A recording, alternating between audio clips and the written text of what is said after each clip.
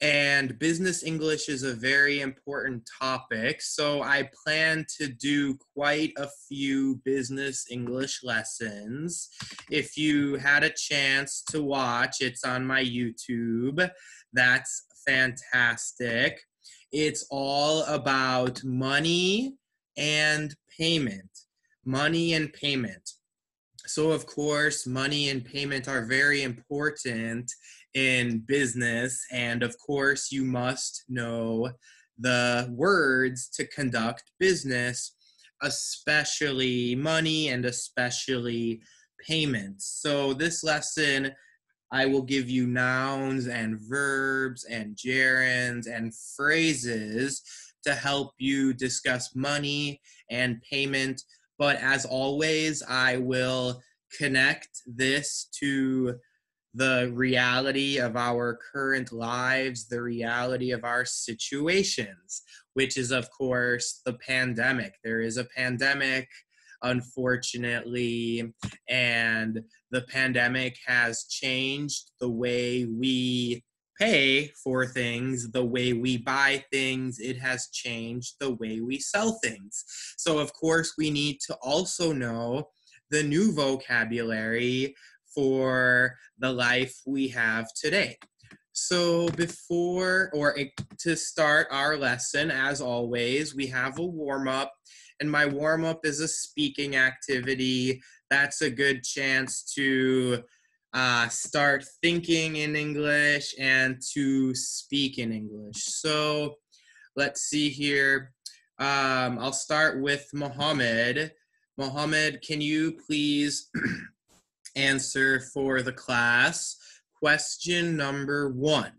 So, how do you prefer paying for things? Cash, card, Apple Pay? Do you have a different app such as Venmo or PayPal? How do you prefer paying for things, Mohammed? Um, I prefer uh, paying for things uh, uh, in, in cash in cash. In cash yes. And uh, uh, also i uh, i use a credit card uh, to to pay uh, my bills. Okay. Okay you use a credit card. Do you pay online? Yes. Okay electricity so, water and uh, telecommunication Okay. So it's, you know, you make virtual payments. You pay your bills virtually online. Yes, uh, we say virtually online. Well, uh, you can say, you can say virtually. You can say online, digitally. There, there are a few words. Yeah, pay. Um, yeah, okay, very good, Mohammed. Excellent job, Mohammed. Uh, Tanu, Khan. Just to review, there were a number of different payment methods that people preferred. Some people prefer paying by cash, right? And cash is obviously paper, money. What's uh, the name for the small things that are circles made out of metal? Coins. Coins, yeah. So, you know, paper money. Uh, with you also have coins, and you have bank notes. Bank notes. That just means paper money, cash. So a couple people still prefer paying by cash, paper money, coins, bank notes. Some people, of course, they prefer something different. They prefer paying by card, you know, obviously your debit card or your credit card. Of course, there are different kinds of cards. You can have the ones that you swipe, right? They have a strip on the back and you swipe them. Swipe is a verb you have newer cards with a micro chip and you insert the microchip. Insert is the verb. You insert the chip into the machine, and you have new cards. You have now contact less cards where you just tap over the machine. And tap is a verb. Um, we also heard people talk about apps, new apps, Venmo, PayPal. I forgot the name of the Brazilian one that Cassia is using, but there are many different kinds of apps for payment now, right? And that's kind of the newest thing. But then we even have Apple Pay and Apple Wallet, which is basically your phone, your smartphone replaces your card, and you can pay by putting your phone, uh, tapping your phone over the machine. So there's lots of different kinds of payment systems now. And of course, unfortunately, we have the coronavirus. And the coronavirus is changing the way that people and businesses pay for things. So it's very, very important to know the new vocabulary for payment. So once a week, I do a reading activity. This article is short. It will only take me two or three minutes to read it to you. And it's so important that you listen to me read the article because the article contains all of the vocabulary terms. So, reading is a very good way of learning English. And when I read this article to you, you can see all of the vocabulary terms in context, which is really what form of currency have people stopped using as much? Question A. What form of currency have people stopped using as much? Question B. Do merchants typically prefer to receive payment by cash or card? And letter C. What is the new way to pay by card? So as I read, try to find the answers to these three questions. It's only about three minutes, and here is the article on your screen, which you can also find by clicking the link in the material if you want to revisit the reading article later. Okay, so I will read and you listen, and then we will discuss the answers. So I'm on axios.com, uh, an article from June 29th in the economy and business section entitled The Near Cashless Society Arrives. The Near Cashless Society Arrives. If you see a word you do not understand, that is okay. Please do not stop reading if you see a word that you don't understand. We can talk about difficult vocabulary later. Okay, here we go. People have suddenly stopped using money of the bill and coin variety for fear it may spread the virus. Some worried shopkeepers have stopped accepting it too. Why it matters.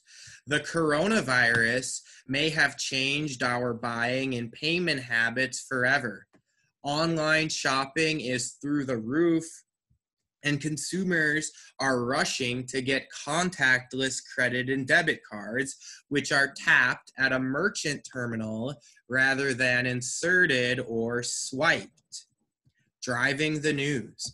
The coronavirus has made us scared to touch anything. And there's a perception that money is dirty and payment terminals carry germs. ATM use is down 32%, according to Visa, and 63% of consumers say they're using less cash.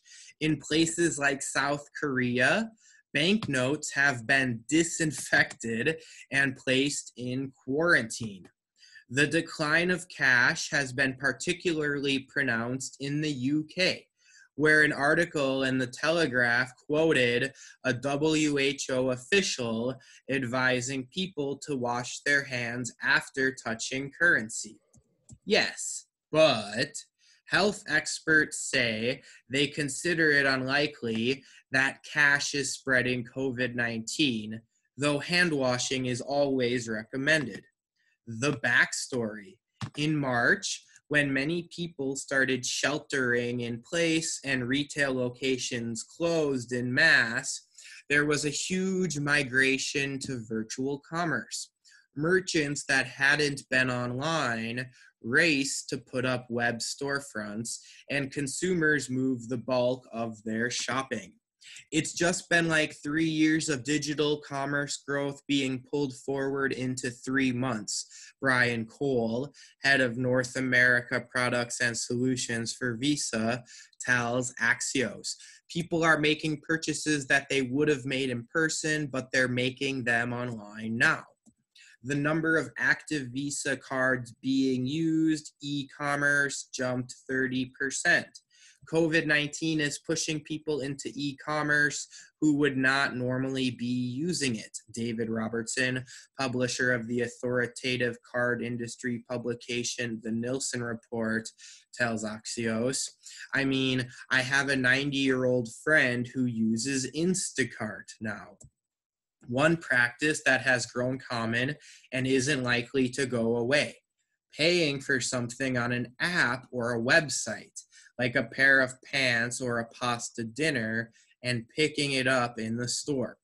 Between the lines, the acceleration of e commerce and card payments at the expense of cash is convenient for consumers and good for banks who reap fees on transactions, but it can be bad for the merchants who pay those fees and for low income people who lack bank accounts. Retailers have been in litigation with credit card networks for decades over the swipe fees they owe whenever a consumer pays by card.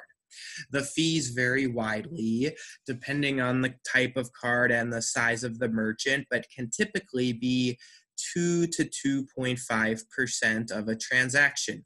Despite the growing cost of handling cash, bringing it to the bank, etc. I think most merchants, especially small merchants and small transaction merchants, would still prefer to take cash. Craig Wildfang of the law firm Robins Kaplans, who represents lar- who represents retailers in an ongoing lawsuit over swipe fees, tells Axios. The catch not everyone has access to credit or debit cards, especially low income people.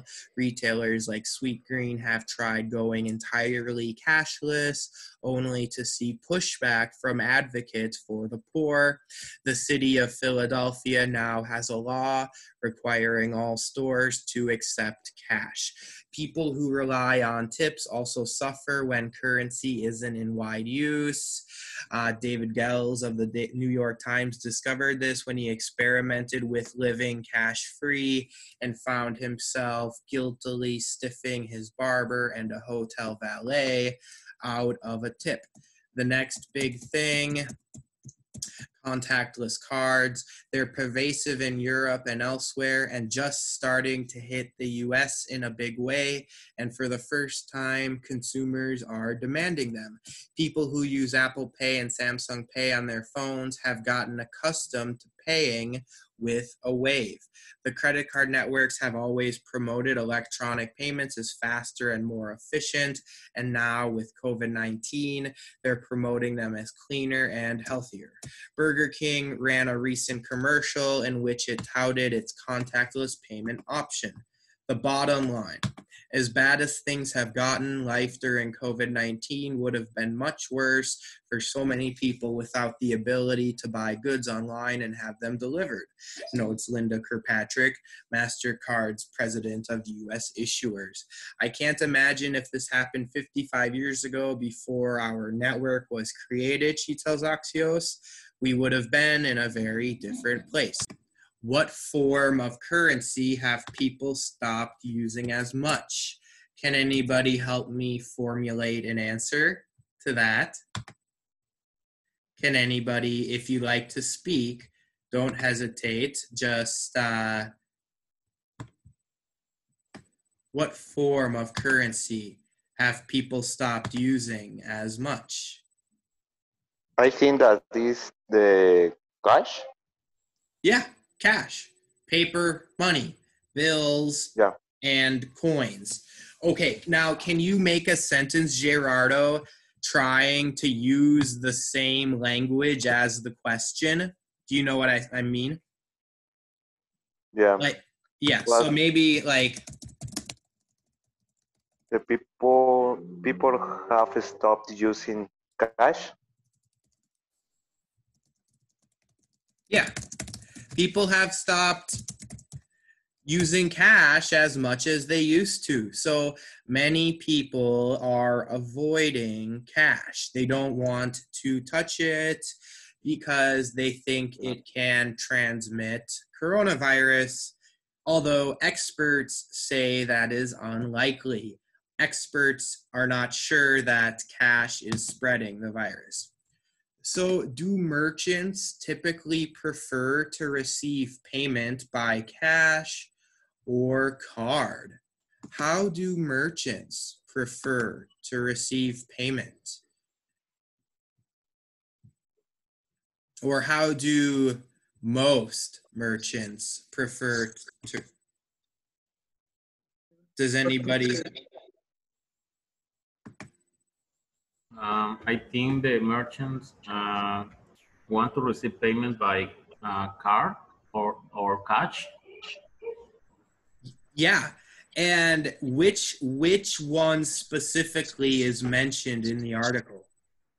Um, I think they prefer uh, receive the payment by cards because they uh, win a, a little uh, percentage of, of re- revenues. I don't know. Close. Let's look back. Well, there are fees. There are fees, right? When a customer pays by cash, there is a fee of 2 to 2.5%. Who pays the fee? Who pays this fee? Uh, the bank, the bank pays. The bank. Ah, no. The uh, the customer really. The bank profits off the fee. Who pays this fee typically? The customer. Can somebody help Hasiel? Who using who using cards? Well, typically the article says that merchants pay those fees, right? Typically it's the merchant. The merchant is the business, the seller.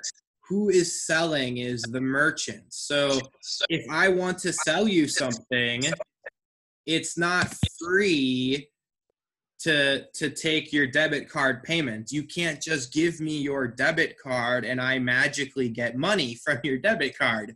I need a machine or I need an app or I need a system to receive payment for you and I have to pay for that, right? So those fees are paid by the merchant, the shopkeeper, the business owner, the seller, right? The banks reap the fees. The banks receive those fees because the banks create the system to take the payment, right? So it's the merchant who pays the fees. And because the merchant pays the fees, most merchants would still prefer to take cash. So thank you for volunteering to answer, Hasiel. I prefer, all right, I appreciate that. So, right, so merchants are the sellers, right? The business owners, shopkeepers, etc.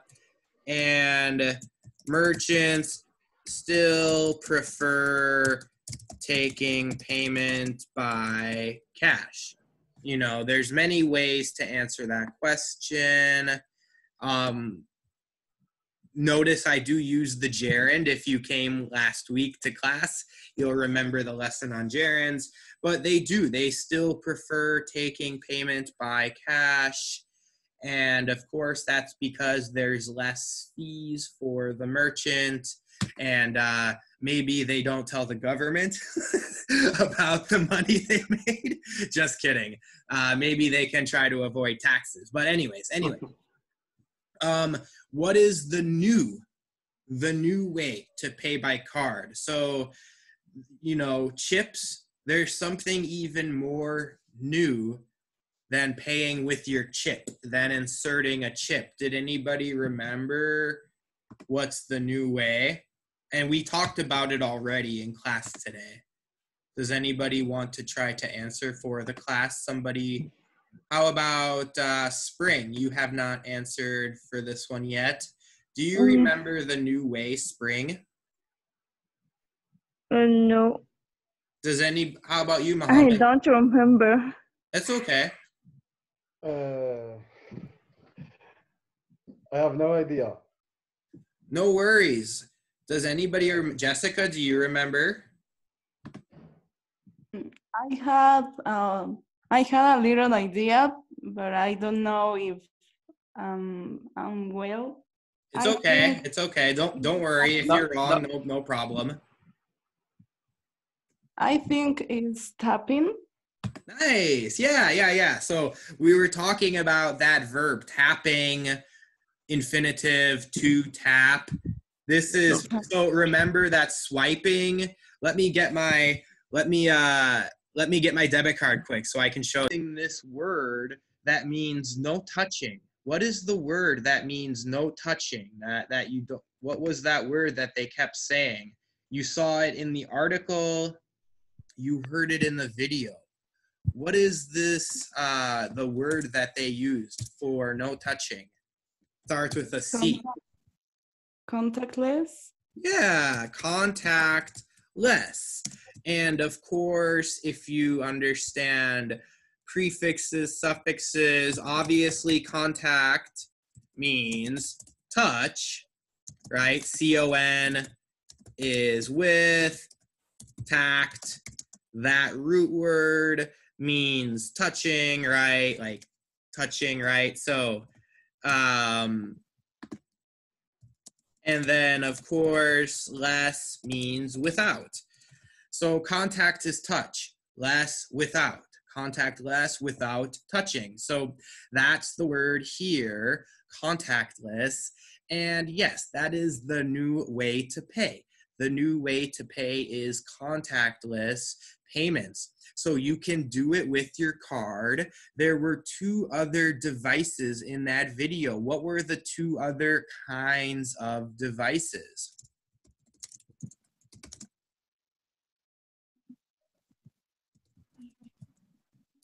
It, you can just say if you remember.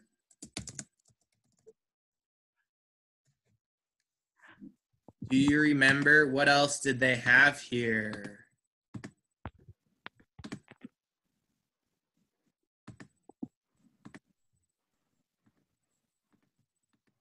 Let's Gerardo, do you remember the other methods for payment? Mm, Here it is. Here's one. no. What, what does she have in her Not hand? it.